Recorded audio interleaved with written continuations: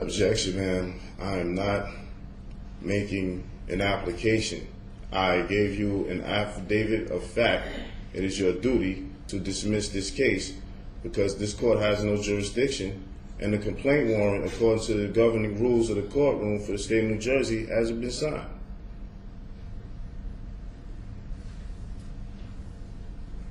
Is there anything else that you want to tell me before I make my decision concerning whether this case will proceed with a lawyer or without a lawyer?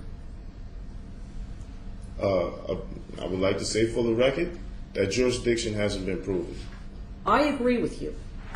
I agree with you that you have raised that issue and it needs to be resolved. And the record shall so reflect that you have raised it and that I have told you that.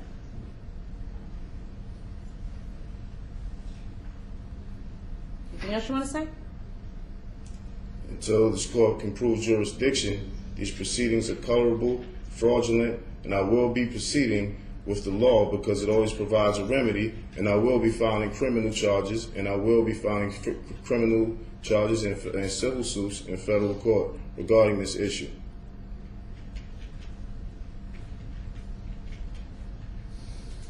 Anything else you want to say?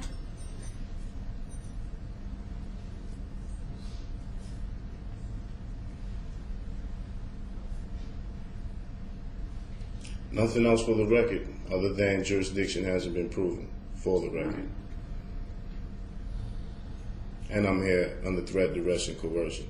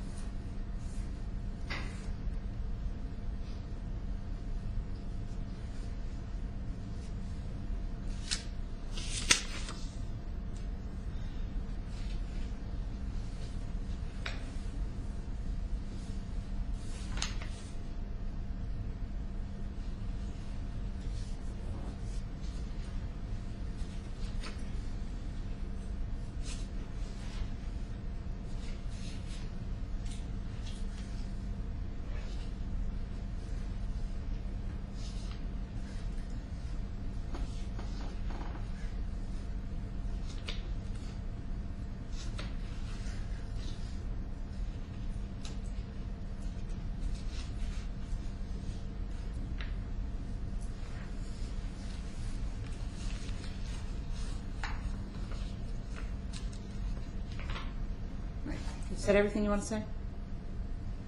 I've long ago concluded, ma'am. Okay. I'm going to uh, render my ruling now then.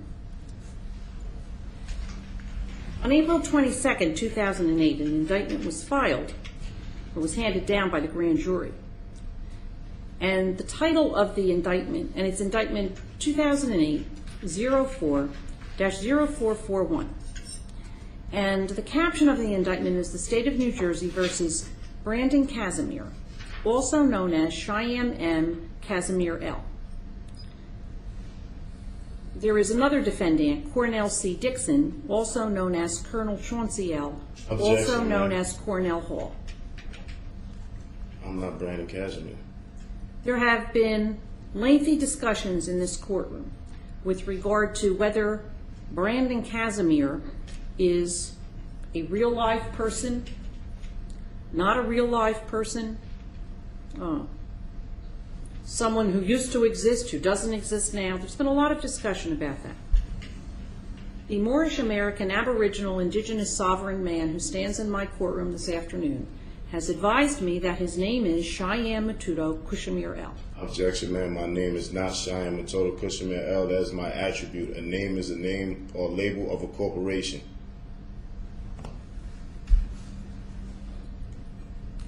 Well, this is a new piece of information.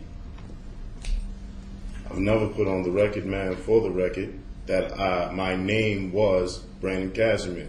The I am- Moorish American Aboriginal Indigenous Sovereign Man I am, who yes. stands in my courtroom today has the attribute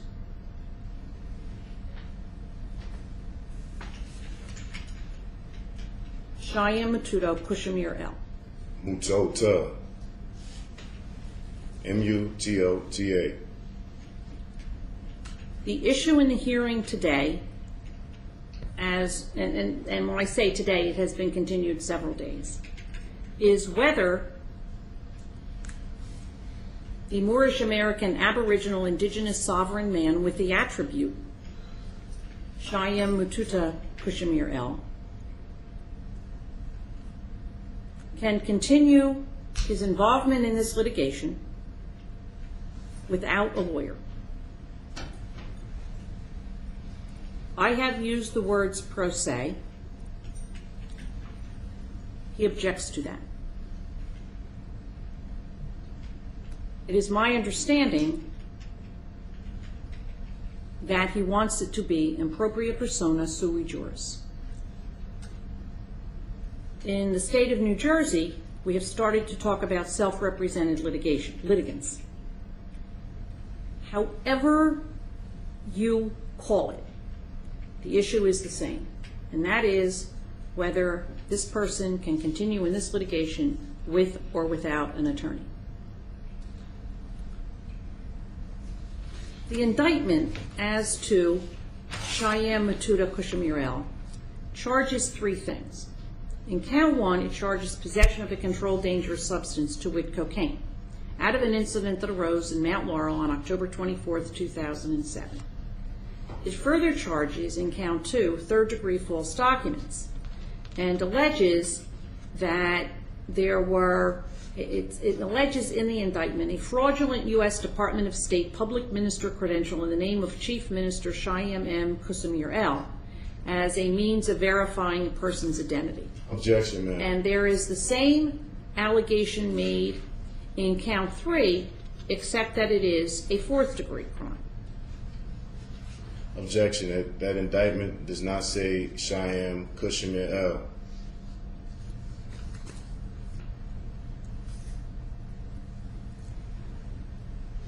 of concern to the court today and always, and under the line of cases of Crisafi, Reddish, and most recently, State of New Jersey versus Pascal Dubois at 189 New Jersey 454, is whether a litigant knowingly and intelligently waives the right to be represented by counsel when he or she says to the court, I don't want a lawyer. Objection. I already stated for the record that the Aboriginal law firm has power of attorney over Cheyenne Matoda Kushimir L. The inquiry that the court must make deals with certain requirements set out in Crisafi. And it really comes down to whether the defendant understands the nature of the charges, the range of punishment, the technical problems associated with self-representation, whether the person is able to understand the rules of procedure and evidence and understand that he or she will be required to comply with them, whether the person understands the lack of legal knowledge of the law, the procedure will impair the defense, whether the defendant understands and appreciates the impact and the danger and the pitfalls